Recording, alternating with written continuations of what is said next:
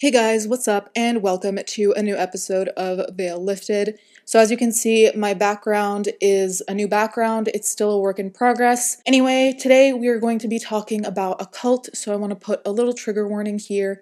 There will be mentions of death. And there will be mentions of suicide, so just beware of that. When we hear about cults, we often conjure the same few images and ideas religion, difficult childhoods, manipulation, and often extremely inflated egos. Time and time again, we hear of gurus who claim to have some kind of power and knowledge that is unattainable to the masses unless you buy their book, unless you move to a commune they started, unless you pay a certain amount of money. We know how to spot the red flags. Yet these individuals continue to exist, taking advantage of innocent people who simply were looking for answers.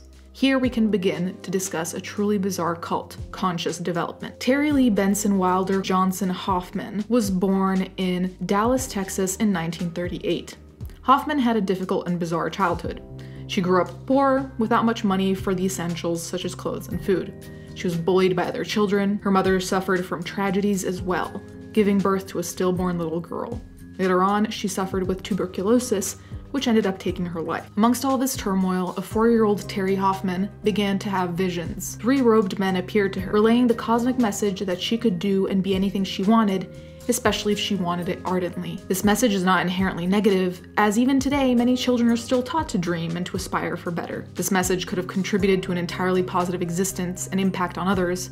However, as time went on, it became toxic. At age 9, Hoffman was admitted to a Lutheran orphanage. Much like in her younger years, she continued to be bullied by the children around her. Again, the three robed men appeared to her and shared another message with her to think about God anytime she felt hopeless. This is when faith became an integral part of her life. She began praying, had visions of God, and all this was furthered by a Lutheran nun who taught her about cosmic records that Hoffman could only access in the spiritual realm the Akashic records. The nun also informed her on topics of meditation and reincarnation. The meditation was the gateway to Hoffman allegedly seeing the past, present, and future. While these beliefs may not have been inherently negative, again, if taken too easily, they could lead to deluded behavior. In fact, before leaving the orphanage, Hoffman's identity had shifted. She believed that she was the reincarnation of Saint Teresa of Avila, St. Teresa was a Carmelite nun known for being a mystic, a religious reformer, author, and was referred to as Doctor of the Church. She earned this title as she believed in mental prayer, which consists of meditating on the teachings of God and Christ's face. St. Teresa had a colorful life that in some ways would be paralleled in Hoffman's. After two years at the orphanage, Hoffman was adopted and given the name we now know her by. There seemed to be an instant connection between herself and the couple as they had lost their daughter to tuberculosis. However, as she grew up, Hoffman began to feel overwhelmed by her adoptive mother's suffocating attention. This may have contributed to why Hoffman got married young to John Wilder, whom she'd met in junior high. He had dropped out and worked as a truck driver. Unsurprisingly, Hoffman's adoptive parents, her mother especially, were not fans of Wilder and did not deem him as good enough for their daughter. Hoffman married Wilder in 1953, right as she turned 15. A year and a half later, their first child was born, a boy named Kenneth. Five years later, their second child, a daughter, was born, named Virginia. For many years in her marriage, Hoffman played her role as a mother and a housewife. These were likely to be the least eventful years of her life as she was living according to social convention. It seems Hoffman became restless in her role and desired more from life than what society dictated was right for her. She therefore began to meet with other individuals who shared her interests of meditating and discussing topics such as larger questions in life, how the universe functioned, the meaning of truth, and so on. These conversations opened a door for Hoffman, the occult, hypnotism, and power of positive thinking groups. John Wilder alleges he didn't know when the exact shift occurred, but it may have been when Hoffman first began to read about hypnotism or her exposure to high society women who discussed such topics at the Brookhaven Country Club. Unfortunately, these women were what reignited Hoffman's belief that she was a superior being. They saw her as a messenger of God. The positive impact Hoffman would have on one specific individual would propel her career in spirituality. Hoffman helped a young man through his addiction to drugs. She claims to have done this through meditation and prayer. After his recovery, the young man pleaded that Hoffman share her knowledge with his friends. She ended up having weekly meditation sessions that were attended predominantly by high schoolers. Hoffman didn't charge for the sessions, but it is telling that young impressionable minds were attracted to her alleged powers. Hoffman's teachings were centered on balance and perspective. She discussed the archangels who could offer protection and fortitude, as well as the law of karma, which offered the comforting idea that goodness would receive goodness and that evil would soon be in debt for their wrongdoings. These sessions were relatively harmless. Hoffman would lead a meditation that seemed to mirror a form of hypnosis and claimed they were on their way to a higher spiritual plane where Christ was a master as were Buddha, Lao Tzu, Muhammad, and others. During these hypnotic sessions, Hoffman would lead the students spiritually through higher realms. She would describe the scenery of the different realms the emotional, the logical, the ether, and the soul. The students allegedly felt as though they were looking at what she was describing and would comment on the appearance of realms, adding descriptors that Hoffman would typically agree with. On top of this, Hoffman informed her students about cosmic Akashic records that could only be accessed spiritually. She went as far as to claim that she could tell who their soulmate was and had insight on their love lives. Hoffman made many bold claims, such as referring to a night where she allegedly levitated from her body. She also claimed that her son Kenneth had dislocated his thumb and that she'd cured him through meditation. Slowly, these sessions became more worrisome as Hoffman began to refer to deaths in order to show her powers and her sight into the past or future. When Jimi Hendrix died, she claimed he had bad karma due to drug use and that his soul required a higher plane. Apparently, these visions also became materialistic, where Hoffman began to boast about goods in her life, such as an allegedly new boat. This made some students of hers leave due to sudden skepticism. However, the more tragic aspect was the demise of her marriage. This was a turning point, as by the late 60s, the group titled Conscious Development of Body, Mind, and Soul began, led by none other than Hoffman. Hoffman was accepting payments or love offerings and private consultations, which sometimes would bring her $50 to $100 at a time. All of this drove Hoffman and her husband apart. He didn't believe in her so called powers and became uncomfortable with her new practices and students or disciples. One student became particularly close to Hoffman. His name was Glenn Cooley, a university student. He was particularly adamant on being near her during sessions. This was Hoffman and Wilder's breaking point. She eventually filed for divorce on December 28, 1970. This was also the same time when Hoffman was taken to a psychiatric hospital in order to be evaluated. She was soon released, though she lost custody of her two children. Soon enough, Hoffman married Cooley with a 13 year age gap of 20 and 33, respectively. Another close follower or student named Sandy Cleaver followed them. Cleaver's reality was in some ways not so dissimilar to Hoffman's. They had difficulties in their marriage and clearly had the same beliefs in terms of the spiritual. But aside from that, they were opposites in terms of upbringing, economic status, academic status, and personality. Though her marriage was in trouble, Cleaver had a daughter with her husband, Chuck. As time went on, she became unsure of herself as a mother, causing understandable turmoil. This turmoil was only worsened by the death of her father, with whom she felt she had loose ends. This is what made her dive even deeper into spirituality, homeopathy, crystal healing, amongst other non traditional beliefs. Unfortunately, these beliefs caused Cleaver to lose a grasp on reality. She began to obsess over homeopathy to the point that she'd have pills sent to her from Mexico. She traveled to San Diego to put her daughter in a machine that allegedly pushed away quote unquote bad vibrations. The pills, when inspected by actual medical doctors, were proven to be placebos with no scientific backing to prove they had any healing force. Cleaver's belief truly became dangerous when her daughter became sick. She had been sweating profusely in her sleep and had a high fever. Chuck, Cleaver's husband, insisted they bring their daughter to the doctor. However, Cleaver was too far gone into her new reality, one where she thought medical doctors were frauds. She went as far as to say that maybe it would be better if their daughter just went to heaven. This is where Hoffman's influence is exemplified. Hoffman claimed she could diagnose illnesses and went as far as to claim she could cure cancer.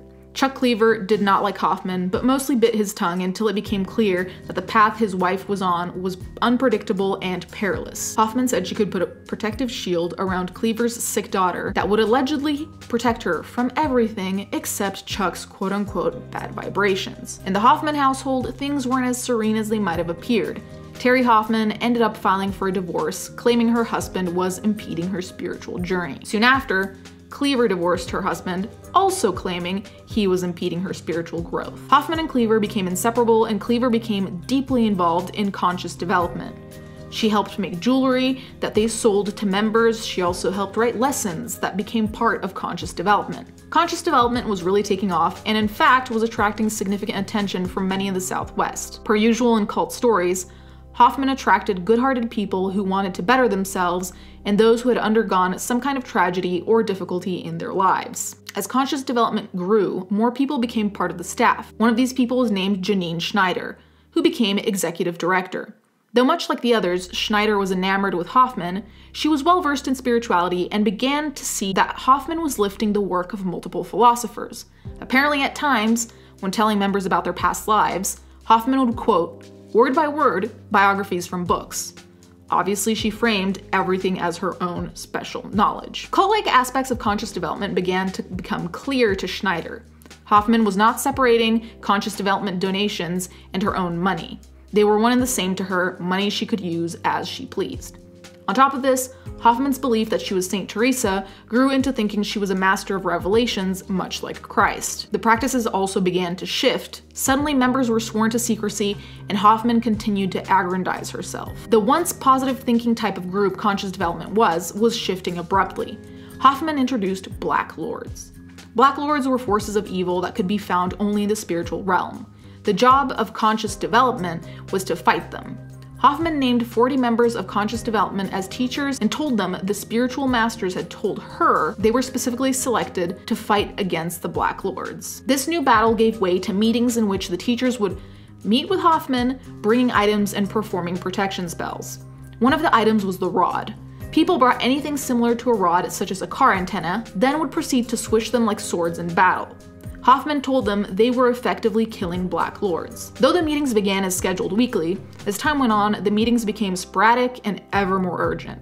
The battle against the Black Lords became consistently more intense, with more alleged dangers and more to fight against. Hoffman was creating anxiety within conscious development via these battles, making members ever more vulnerable. Though Black Lords until then had only been in the spiritual realm, the teachers in Hoffman claimed during battles that the spirits of former members were there and to be fought. They were now Black Lords. Interestingly, these battles began shortly after Glenn Cooley had killed himself. It turns out that what Hoffman had claimed as a reason for her divorce, that her husband was stunting her spiritual development, wasn't true. She also claimed her divorce was amicable, but this does not align with the fact that Cooley asked the courts for speedy processing of their divorce. Less than a week later, he was dead. Apparently, Cooley had been wanting to leave conscious development. However, Hoffman was extremely controlling, to the point where when Cooley went to visit his family, she'd call after less than half an hour or actually drive to get him.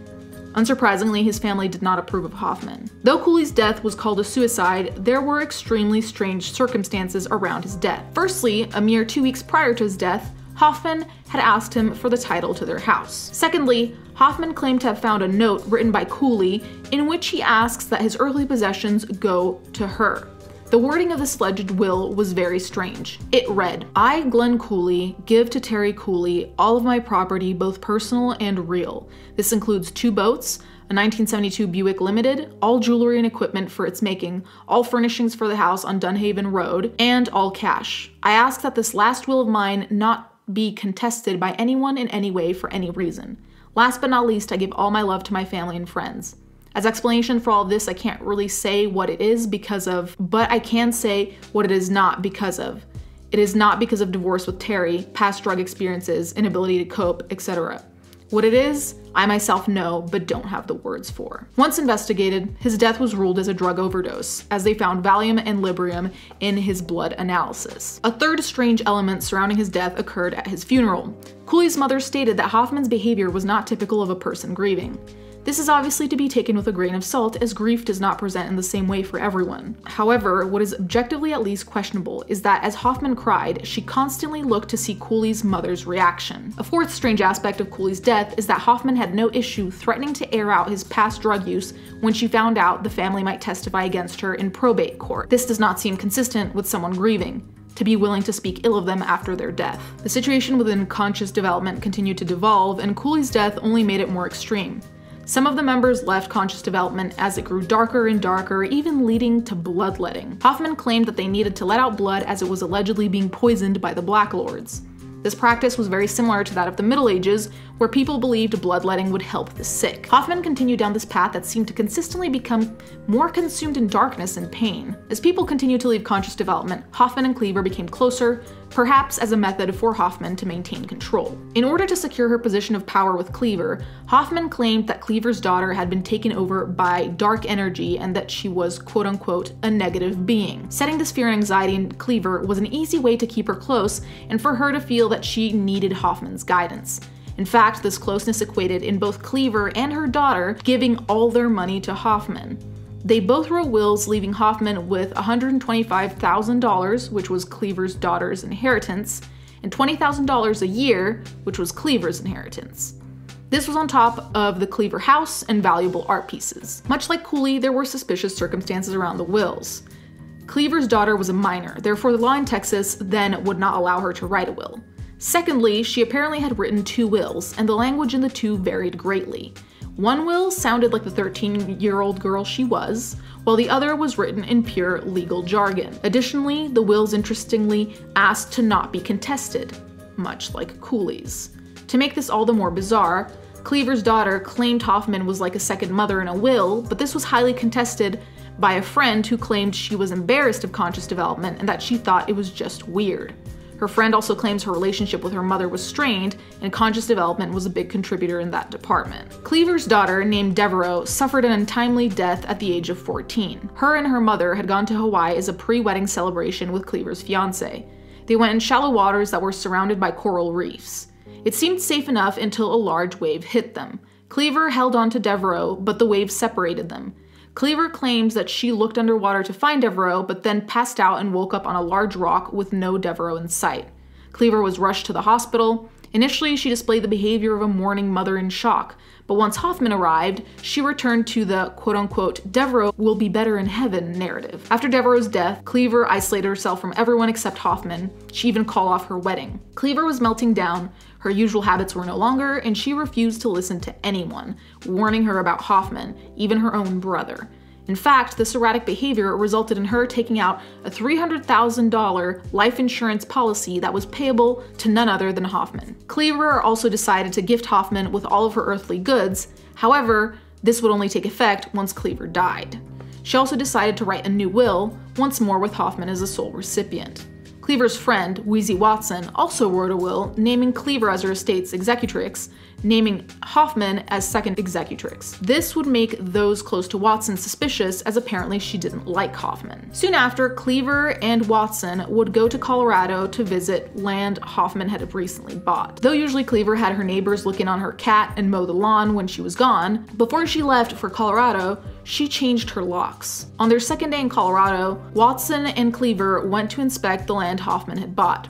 Between then and when they were found, nobody knows what occurred. The next day, their car was spotted at the foot of a 450 foot cliff. Both Watson and Cleaver were dead. Strangely, there was no sign of an accident, no skid marks or tracks to indicate loss of control. Cleaver's brother, Croom Beatty, had a feeling something was wrong, that these deaths were not coincidences, and that Hoffman had a suspicious track record. His attorney filed to contest Cleaver's will as she was not of sound mind and could not make decisions for herself, and that she was under psychological control of Hoffman. At the trial, Hoffman admitted to using tranquilizers, that money was in her bank account instead of going towards conscious development, and that she had tried to influence multiple witnesses. Conveniently, when asked about conscious development teachings, Hoffman claimed to not be aware of or remember them. Mary Ellen Grundmann, a psychotherapist hypnotist, was introduced as an expert to give testimony.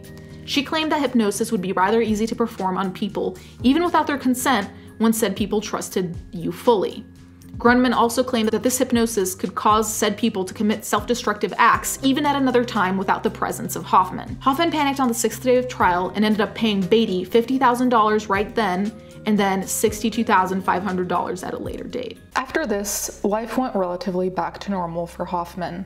However, the movement was faced with extremely bad publicity, and to make it all the more tragic, three out of four of the members who testified for Hoffman killed themselves. Though conscious development was still operating, Hoffman also began performing acupressure massages and she founded a perfume mixing company. Sandy Cleaver's death had taken a massive toll on Hoffman, contributing to the dwindling future of conscious development. Though Hoffman no longer held her formal spiritual meetings with her followers, those who stuck by her socialized often, including parties and retreats.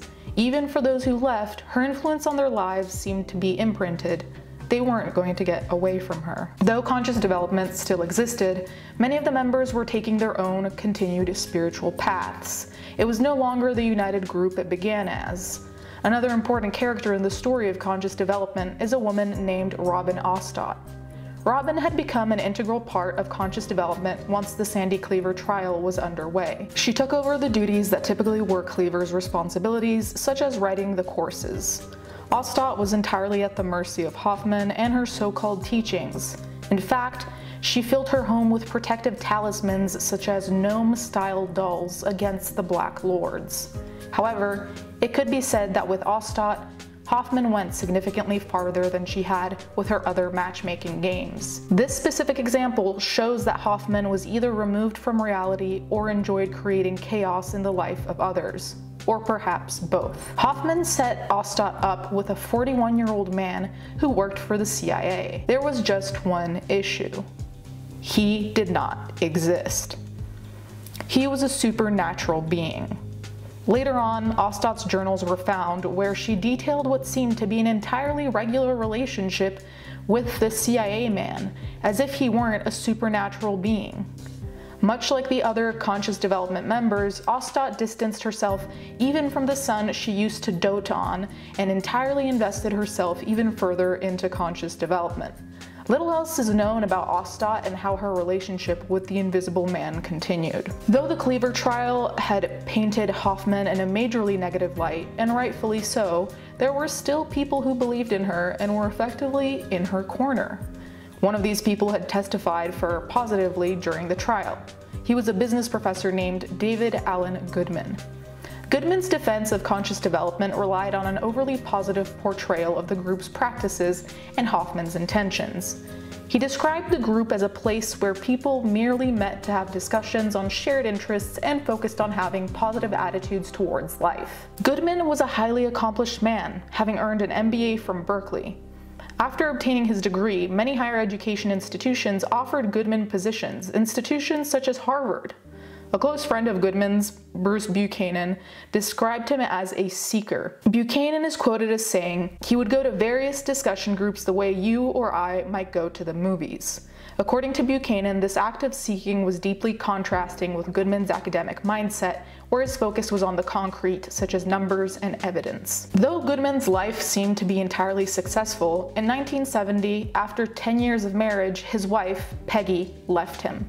Though Goodman's academic career was proceeding incredibly profitably, including even winning awards, his split with Peggy took a predictably immense toll on his well-being. Due to this divorce, Goodman began to attend spiritual meetings of different varieties in order to try to heal his wounds. This is what led Goodman to Hoffman in 1973. He very quickly became an attached regular and continued to attend the meetings, even spending $150 a month on counseling. Hoffman soon became referred to by Goodman as his own personal guru. Though Goodman's parents were happy to see him doing better, it is important to note that in the past they'd said he'd shown poor judgment in regards to people and their intentions. Goodman took Hoffman's advice very strongly to heart, to the point where he trusted her supposed clairvoyance in terms of romantic relationships, even after his devastating divorce from Peggy. Hoffman's guidance proved unsuccessful. In 1973, Goodman married a 23-year-old student.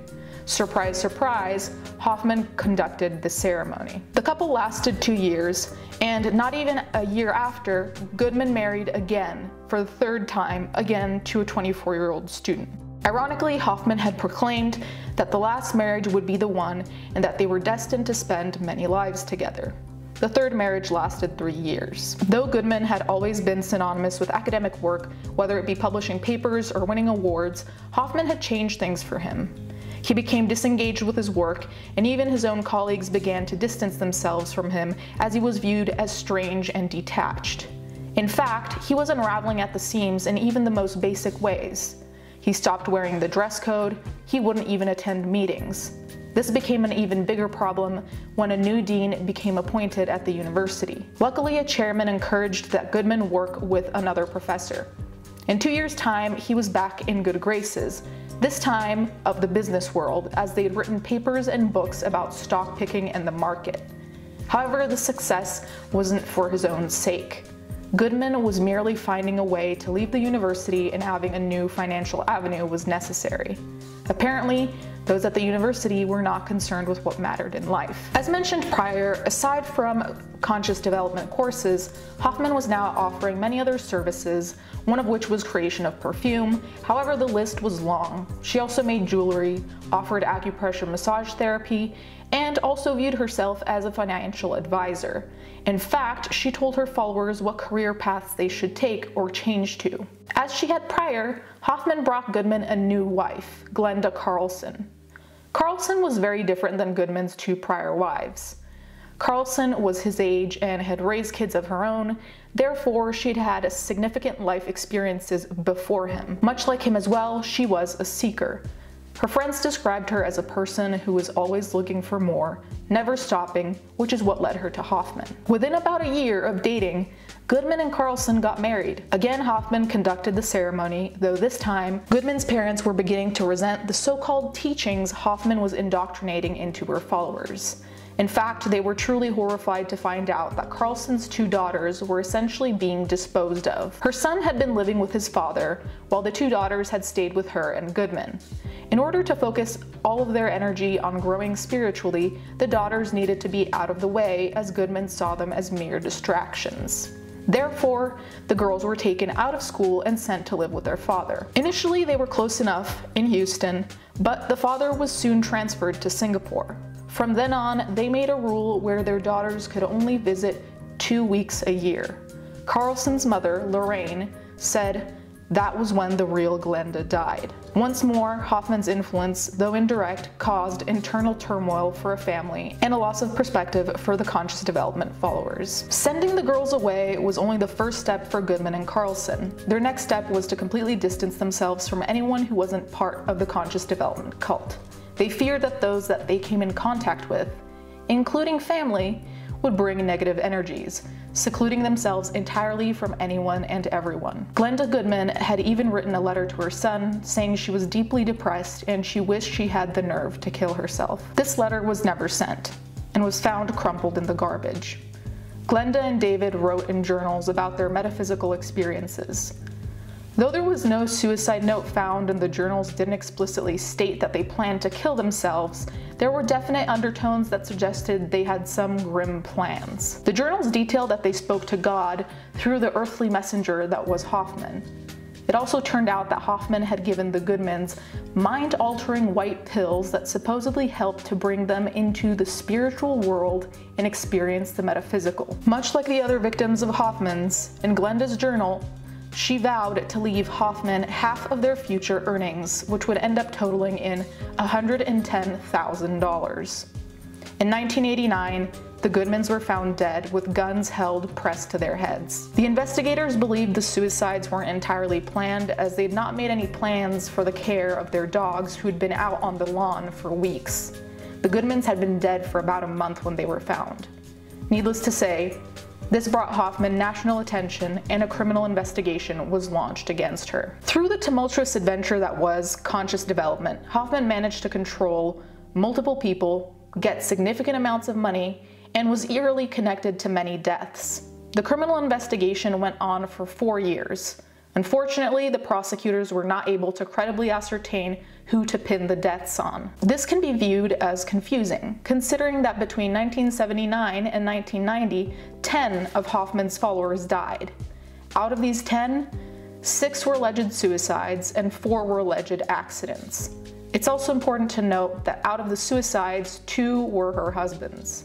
Out of these deaths, a significant amount of the dead had left Hoffman sizable amounts of money, or the equivalent via homes, famous art pieces, etc. Hoffman faced up to 50 years on bankruptcy fraud charges. Not much of a consolation for the families of the victims, but at least a form of consequence. Unfortunately, she was only sentenced to 16 months and ended up being released after a mere year. After her release, Hoffman remarried and changed her name, likely to distance herself from all the negative publicity, to say the least, that surrounded her. As of 1995, her name was Terri Lilya Keanely. Hoffman, now referred to as Keanely, faded into the darkness in terms of what is known about her continued life after conscious development. She continued to write and published a book that seems to merge the metaphysical with financial advice. To this day, on Amazon, you can purchase that text titled The Colors of Money Finding Your Money Force. Keanely died in 2015. The last few years of her life are vastly undocumented online, remaining mysteries. Perhaps all that had occurred with conscious development had taken a toll.